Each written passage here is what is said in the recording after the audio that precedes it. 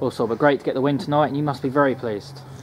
Yeah, buzzing. After after Saturday, it was obviously a bad end to the game. I got conceding two late goals, but today the boys showed character and a lot of heart to actually make sure deja vu don't happen again. And yeah, it was good. You've sort of thrown in at the deep end a little bit today at right wing back. How do you feel you got on? Oh yeah, well in the first half it took me a little bit longer to obviously get used to the position. Gaff obviously told me to get more forward, play more as a winger, and obviously play the way I usually play. And obviously got to grips with it in the second half. I felt more open, more free, and I just obviously just thought that let me make this position my position for obviously the upcoming games on Saturday and even Southport the next round. In the second half, you did seem to play with a lot more freedom and a lot less fear.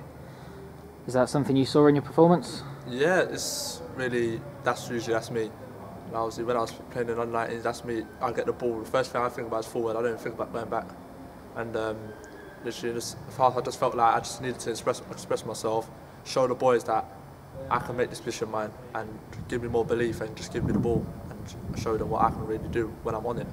Is that something that Luke said to you? Because there are positions up for grabs at the moment, aren't there? Yeah, there's obviously it's good. Competition is always great. Obviously, if you don't want people thinking, oh, every game they're just going to walk straight into the team.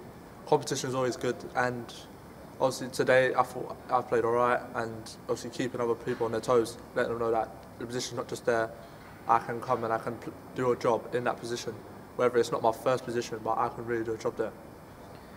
Obviously, your attacking qualities are well known from anyone who's seen you play before, but defensively, you seem to grow into the game as well this afternoon. There was one clearance just towards the end where you flicked the ball away from Ollie Harfield. Yeah, oh, everyone knows, even the gaffer knows. Defensively, I'm not really the best. I'm probably one of the worst in the team in defence. But you got with the wing back position nowadays in the modern era, everyone's playing the three at the back. So I've got to get used to, if, even that's even out, out wide in the wing back position, in the number 10 or even up front, I've got to be able to adjust. And that clearance was just, it was a hope. Hopefully, I, I was just hoping I touched it first before you got there. I don't want the boys shouting at me.